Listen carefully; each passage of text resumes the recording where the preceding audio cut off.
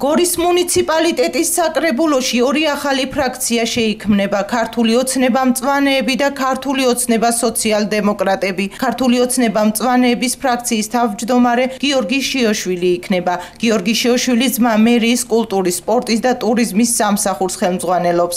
ფრაქციის თავმჯდომარის მოადგილე ჯუმბერ გიგაურია, ხოლო მესამე წევრი ხვიჩა ხიხალაშვილი.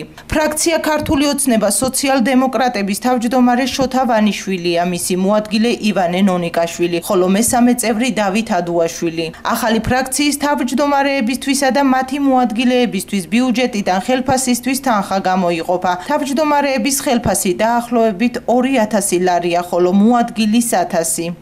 ქართული ოცნება დემოკრატ საქართველოს ფრაქციიდან გავიდა 6 კაცი, გააკეთეს ორი ფრაქცია. ერთი არის მწვანეთა პარტიიდან, მეორე არის სოციალ-დემოკრატების საქართველოს განვითარებისათვის.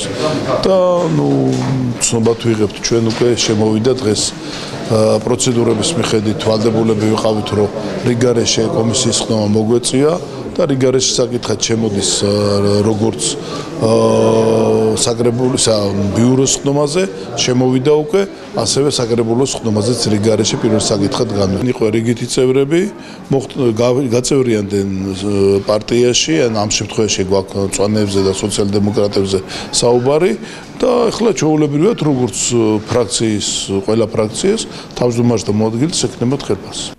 შეგახსენებთ, რომ აღნიშნული ორი ფრაქცია, ფრაქცია ქართული ოცნება დემოკრატიული საქართველოსდან გასულმა 6-მა წევრმა შექმნა. საკითხი დღეს ცნობად რიგ გარეშე ბიუროზე მიიღეს, რომელიც 8 თებერვალს საკრებულოს ხდომაზე გავა.